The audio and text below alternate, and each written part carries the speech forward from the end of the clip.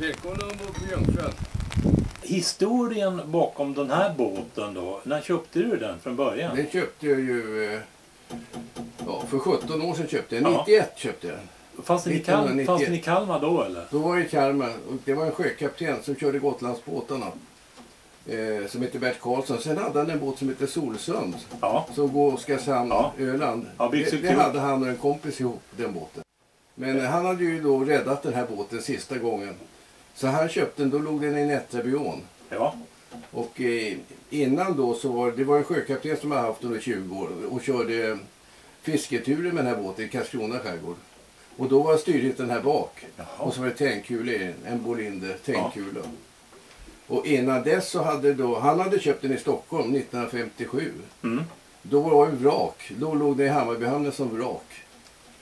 Och eh, i- innan då så hade den gått upp i Östhammar. Rådman Lundqvist hade haft den här båten. Ja. Och han hade då köpt båten. Innan dess så hade den här båten gått på sjön Erken. Och hette I Erken. Roslagen, ja just det. Så att hos Lundqvist hette den Lisa. Och på Öland hette den Bellman.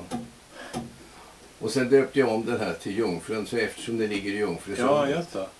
Och det var ju Stockholms ångslivsbolag som hade den här. Ut, den var utarrangerad 1901 från dem. För då gick de in för det större båtar. Då kom nästa generation. Det var ju småbåtar kan man säga. Sen kom nästa. I, när den hade de ursprungliga motorerna, hur många knop gjorde den då? Var det ångmotor eller var det ett Det var ångmaskin på den här. Ja, ja, Ja, den gick på Stockholms ström. ja. Hette Fanny då. okej. Ja, men sen så eh, efter Stockholms ström då så tog de den. Ja, de var ångmaskin på Sjönärken också men de satte in en, en, en maskin från Pythagoras. Och sen var det Bolinder tändkula. Så Ja. att när han som köpte då i, eh, i, som hade på Öland då, Ja. Bert Karlsson. Då var det Bolinder tändkula. Och så satte han in Ford 4 i den här, stummonterad. Och sen när jag köpte den så bytte jag maskin så småningom. Till en Ford 6 nu är det, 128 hästars. Hur många knop gör den? Men den gör bara 6-7 knop. Ja, men det är lagom ju. Men, eh, den, och den bara drar 10 liter diesel i timmen. Alla tittar på den och fotograferar den här båten. Ja, det förstår jag. Ja, Ja, den är trevlig på det viset. ja verkligen. Och hur långt in på säsongen? Den ligger ju i hela tiden. Alltså. Ja, jag tar ju upp den. Förra året var den uppe på Mälarvarvet Mm. för bottenmålning. Ja. Men innan så var jag ju eh, styrelseordförande på Pampas Marina. Jaha, Och du. då tog jag ja. upp båten i princip varje år. Ja. Så jag har haft den uppe nästan varje år hela tiden. Behöver den det då? Ja, nej, sen har jag ju målat själv och Ja. knackat och det. Nu hade jag en finska sjöfartsverket var här med en sjöinspektör och kollade botten då med ultraljud Jaha. i våras här. Ja. Och det var ju otroligt bra plåtar enligt den utredningen. Så sämsta var 4,2 millimeter. Oj. Och han påstod det att de här gamla båtarna, de plåtarna tar aldrig slut. Nej. Det är som den här Jungfruhamn här bredvid, den har ju bässar med plåt. Jaha. En speciell plåt Ja, som ja. de hade förr. Ja.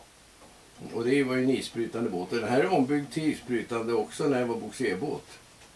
Så den är ombyggd i stäven och det, Mm. det är mycket som är ombyggt.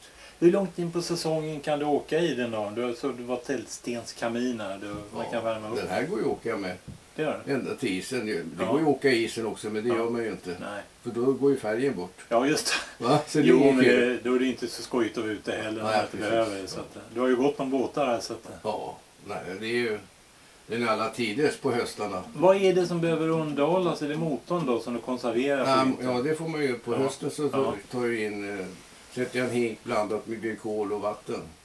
Och så tar jag, jag stänger ju bottenventilen, den ska ju alltid vara stängd när den ligger still. Va? Ja, Och då så sätter jag ner den där slangen ja, och så suger jag upp glykolen i. okej. Och sen har jag ett frostelement här Ja. och det ska bli riktigt kallt. Ja, en frostvakt alltså. Så Fem, fem Ja. ja. grader, okej. Sen har jag eh, en glödlampa vid, jag har ju vattenintag där Ja. för köket va? och då har, där har jag en liten glödlampa ligger.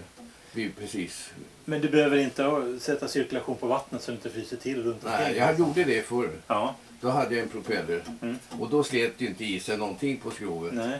Men eh, nu är det så mycket folk här så nu vågar jag inte ha det längre. För du vet, isen blir så svag va? Just det. Så jag hade ju halva viken öppen här bara genom en liten propeller, Ja. konstigt nog. Ja. Så att, eh, Men det är en bra vik det här för det, det rör sig ju ingenting. Och det är Nej. inga båtar som går på vintern. Nej, det blir inte Så- mycket svall och sånt. Nej, så så att- eh, det är ju mest bästa hamnen i Sverige det här kan man säga. ja, Sky- Skyddad och fin. ja. Men ibland ligger det mycket andra båtar här också. Är det Ja, här är ju kommer-. Mysbåtarna varit många gånger. Ja, Och varje år så kommer ju Ekerö båtklubb med sina båtar. Och nu sist var det ju segelkanoter då, ett gäng. är det något sånt här evenemang planerat nu i Ja. sommar? Och sen folk som kommer till stallet här. Ja. Eh, Det är inte så mycket, men det kommer en hel del. Är det något båtevenemang planerat i sommar här?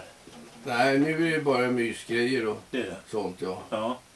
Men jag vet att Östa kommer hit med lite folk, ångbåten Östa. Jaha. Mm. Det är, en de som har, pjäs. det är någon som har en orgel på akterdäck. Ja, det, ja, det har han nog haft. Eller ångorgel. Ja, Ja. Eiden är väl mest som har haft det, men Ja. Östa har det haft. Ja.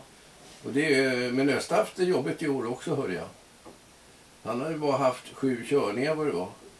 Mot han, och inte ett enda företag, utan privata personer. Det är värdet som gör det då tror du eller? Ja, det är tiderna. Det är Ja. Mycket vad som skrivs i tidningen också. Jaha. Det joggas ju upp hela Ja. tiden. Ena dagen är det bättre och nästa dag det Ja. arbetslösheten. Ja. Det, man får ju ta det lugnt va, när man läser. ja. Men det är ju det är mariga tider. Mm. Det behövs bättre Men det här, är- jag tror de här grejerna kommer. Jag får ju från Riksantikvarieämbetet varje år papper att jag kan söka bidrag Ja. för den här båten. Ja. Fast jag har aldrig gjort det. Utan det går ju, man håller ju på och pysslar. Är det dyr försäkring och så på den? Ja. Jag Det- tycker det här är kul också. Ja. Så man är ju pensionär vet, så man Ja. kan hålla på. ja. Det, och det är det. Då håller man sig vid liv länge tror jag. Jag tror det också. Ja. Men det är väldigt nyttigt Det här är ju fantasi. Ja. Och första, först när jag köpte då var det bara smala bänkar så här och så var det i plåt ner. Mm. Då frös man ju så då hade det små kuddar bakom för att inte frysa här på. Och sen har det utvecklats. Sen blev det lite större med dynor som frugan sydde. Sen köpte jag dynor av en kille jag kände som var kunde det här. Ja. Och de här är fina för dem. Du ser man kan tvätta dem och grejer.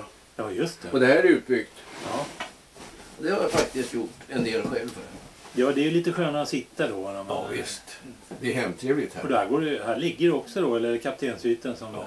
Ja. Den där kaminen håller en hel natt när man Ja. brasar på. Det är också perfekt. Men sen jag brukar jag elda in när jag möter Mariefred de här båtarna. Ja. Så att det ryker bra i skorstenen. ja, så de tror att du kör på ånga alltså. Ja.